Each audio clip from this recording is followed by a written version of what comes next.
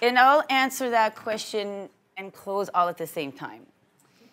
So, for the women in the room, men don't need women showing up like men in skirts. They don't need like thinking to create change. It's in your difference that you have something to contribute. So own your difference. Show up as a woman, own your woman qualities, and bring your strengths to the table because that's what we all need to move us forward, whether it's in business or with a global issue. And so I feel like the case for masculine energy or the masculine attributes or what the masculine portion has to bring to business has been made timetable, schedule, force, control, push. There's a, there's a case already made for why that's important.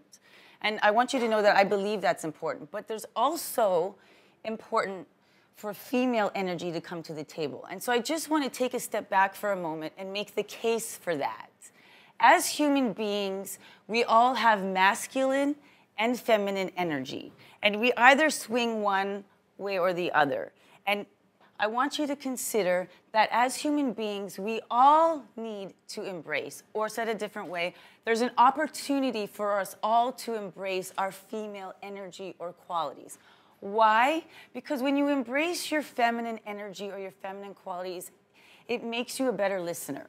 And when you're a better listener, you're able to ask better questions. And when you ask better questions, you close more sales. So it could be said that when you embrace your feminine energy, it makes you a better salesperson. And I also would like to say that when you embrace your feminine energy, it enables you to lead from the heart. When you're able to lead from the heart, you're able to evoke emotion in other human beings. When you're able to evoke emotion in another human being, you're able to engage action. When you're able to engage action, you're able to have people either clean their room or align to your strategic vision. And so there's two female leaders I'd like to bring to the forefront. You have Hillary Clinton in her masculine energy and Princess Diana in her feminine energy.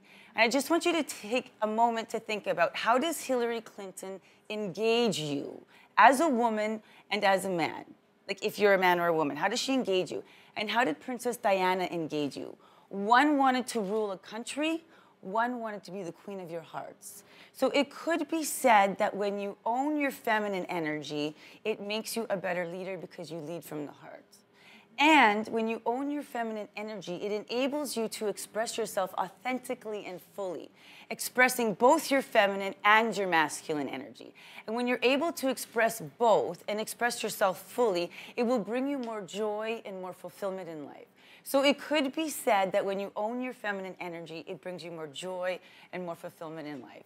So the case for owning your feminine energy and feminine qualities is that it makes you a better salesperson, it makes you a better leader, and it brings you more joy and fulfillment in life. Ladies and gentlemen, I'd like you to thank.